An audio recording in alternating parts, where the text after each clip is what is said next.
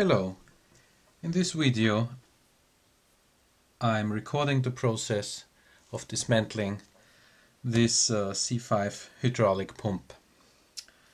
The pump uh, itself, that's the motor, that's the pump and that's the control unit, is probably broken and um, I'm just curious what's inside. So enjoy watching me dismantle this little thing here.